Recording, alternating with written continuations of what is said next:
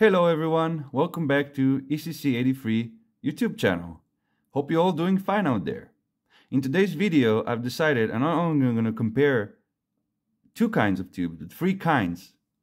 And as you guessed it, they're all coming from the same manufacturer. The difference is the decades they have been producing. I'm going to start with this 1970s dimpled getter version or flying saucer getter, however you want to call it, short-plated Philips, followed by 1960s ring getter version. Basically, they're all also the same construction. The difference is basically the different getter. That's what I can notice. And last but definitely not least are perhaps my favorite tubes out of all tubes, uh, the long-plated horseshoe getter. I don't know you can see inside the tube, but uh, it's a beautiful tube. It's was made in the in the late 50s and it sounds absolutely amazing. They all sound amazing, by the way. And what we're gonna do, we're gonna compare. We're gonna do the clean guitar channel and the crunch guitar channel. We're both gonna record uh, uh, two guitars, left and right.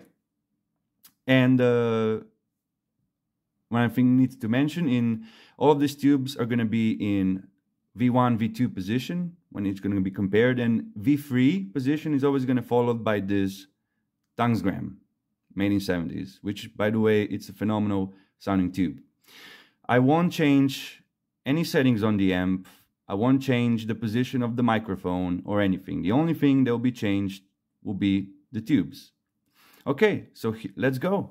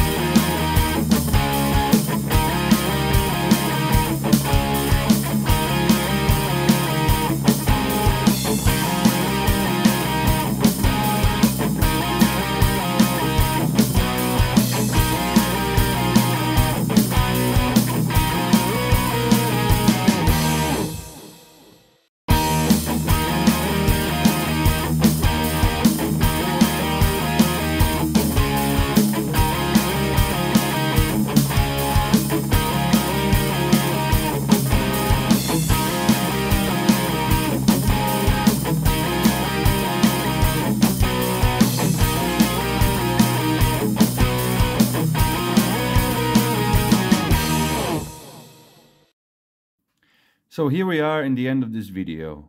I hope you took some good headphones or you have some good speakers to listen and really hear the difference between the tubes. Uh, if you have some, if you're listening through the cell phone, don't do it because you ain't gonna hear much from there.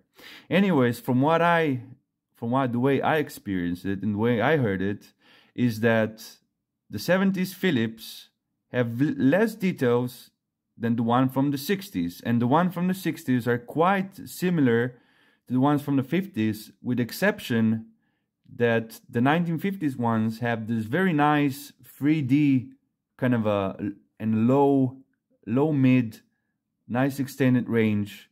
Uh, I don't know, maybe it's because perhaps of a long plate. I don't know, but overall, I think my favorite are from the 50s. Uh, following by the 60s on the to the 70s. They're all, by the way, all great sounding tubes in my opinion, and I don't think you can go wrong by choosing any of those.